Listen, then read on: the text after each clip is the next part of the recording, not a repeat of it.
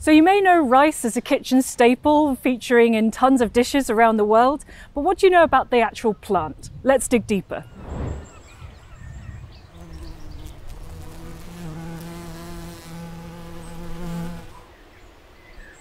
So uh, we are in the water lily house at the moment, but strangely enough, we're not going to talk about water lilies today. This plant that we're going to focus on today, you're definitely going to know. You might have even eaten it for dinner last night. We're going to talk about rice. It's hard to imagine a world without rice. You can steam it, fry it, turn it into sushi or rice pudding. You can even use it to dry out your phone after you've dropped it in the sink. But how much do we know about the plant behind some of our favourite dishes? And here we're growing Oryza sativa, which is the Asian rice. Rice was cultivated in lots and lots of different places around the world. We've got rice coming from Africa, America, but this was the species that was mostly used in Asia when it was first domesticated, if you like, made for us to eat. So you can see here, it looks like a grass. It's not particularly interesting looking. And at the moment, it is in its flowering stage. The flowers are only just coming out, and I suppose what we should really be calling them is an inflorescence. So it's a whole group of flowers all together. You can see at the top, we do have some rice coming. These ones the oldest. These ones were planted a month later. And then right at the bottom, they were planted a month after that. So we've planted it in succession, which means one after the other. This is a really good thing that you could try out in your veg garden as well, just to make sure that you don't get a glut of one thing. While we're here, I'd love to show you the plant itself.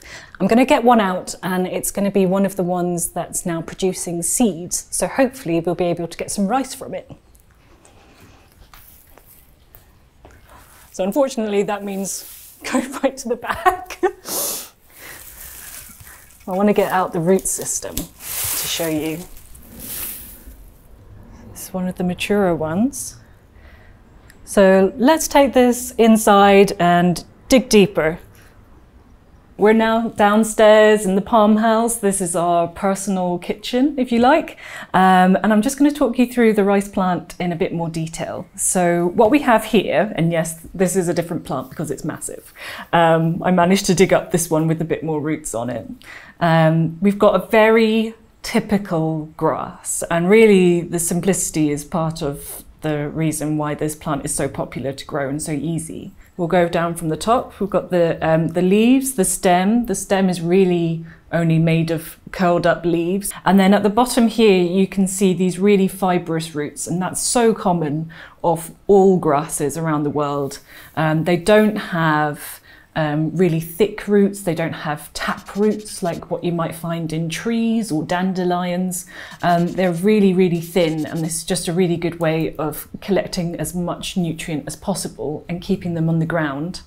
But they're quite shallow, I suppose, rather than being deep down. So all of their moisture would have to be near the top. Then as we get to the top of the plant, we have the flowering structure, and now we've got rice developing here. Um, so we have the seeds. Now, what I was talking about before with the inflorescence, the collection of flowers, if you like, incredibly simple and not really what we would expect to see normally. Normally, we think about kind of roses or um, hibiscus flowers, anything with bright petals. And the bright petals mean that it would be attracting something. They're there for a reason.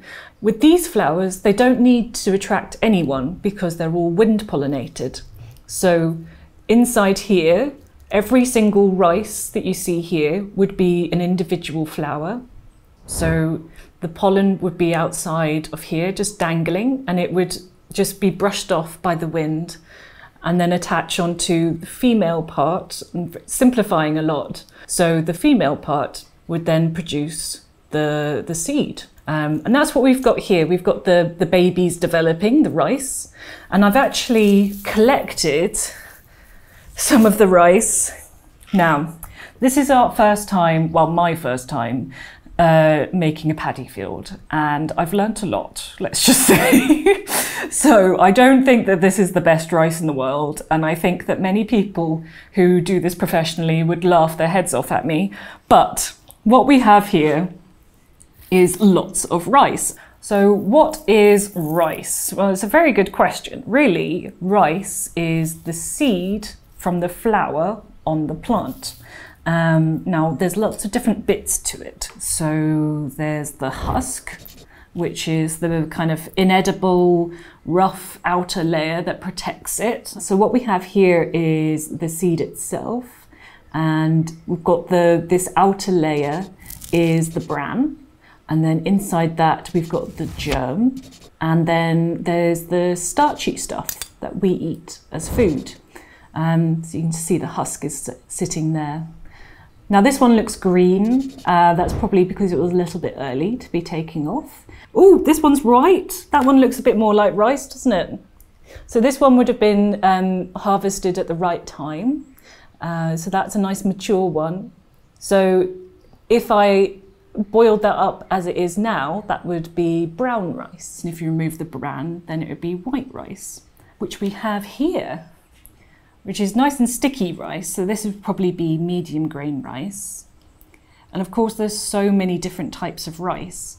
So we have about five different species around the world that are used to produce this grain, which is great because often we rely on one species to do everything. And if that one species gets a disease, then we just don't have anywhere to go with five species, hopefully, that means that we've got a little bit more chance. Saying that, there are 40,000 different cultivars of probably one species.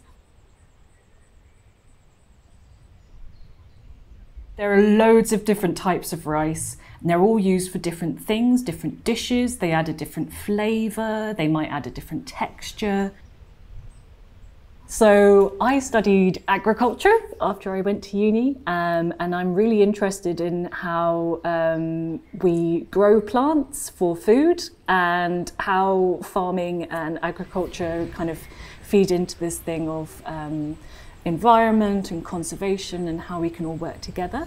Um, so I really wanted to um, kind of grow rice as a paddy field because it's just letting people see those agricultural systems up close and personal. Now, I'm not saying that this is a proper paddy field by any way, but a lot of time we will notice a plant here and I could say, oh, that's rice. But then to put it together that this is how it's grown and then that plant then becomes the rice on our plate. Joining up those dots is quite hard sometimes. You can see how we try to build it this corner where the soil has come away, you can see the bare bones of it. So we've got soil and moss on top. So the moss is just like a nice cover to make it look natural. Then underneath that, we've got some netting just to hold the mud in place. That netting used to be used to go around our tree circles here at Kew and they've decided not to use it anymore, so I took it. Um, underneath that, we've got a, um, a waterproof lining, and then below that, there's wood, there's scrap bits. We tried to form these organic shapes from various images that I found online um, from the terraced slopes of Yunnan. Um, and we just tried to kind of evoke that feeling um, with the shapes here um, on a much, much smaller scale. Um, and hopefully it's worked out. And actually, you can see we've got a stray rice. Um, so, yeah, he's obviously enjoying himself. So, rice is an incredibly popular and important food crop around the world for humans. Um, and that is why we've been putting so much effort into finding out how we can protect it in the future. So we're talking about climate change having a huge effect on it, reducing its yield um, after 35 degrees. It becomes sterile. Um, so Kew and partners around the world have collected what's known as crop wild relatives. So this thing, which is a crop, it's an agricultural plant. We have changed this plant over years of us being farmers. What we've done is we've bred it to be um, as beneficial and as productive as possible. So this has now got quite large seeds. This has got a lot of seeds on it, and a lot of seeds means a lot of food. Um, what the crop wild relatives means is that we're really looking for where these crops came from. Um, so they might be plants that look a bit like this but have very small seeds, or they might look um, actually very different, but they would have um, the bare bones of what this crop looks like now.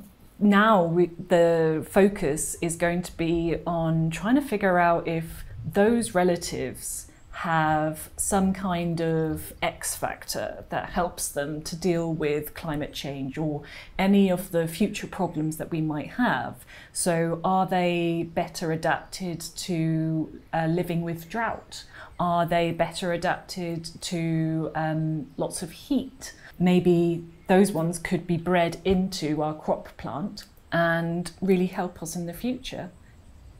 Rice here at Kew may not be in the water lily house all the time, but you can definitely still find it somewhere. So it'll either be in the water lily house or the Princess of Wales. That's because nothing in the water lily house is permanent. We actually change our planting every single year. So whenever you come, it might look completely different, but that's the joy of coming to Kew. Thanks for watching this episode of Dig Deeper. If you like this video, please subscribe to our YouTube channel so you never miss an episode. If you'd like to learn more about the work that Kew does, visit our website for more information.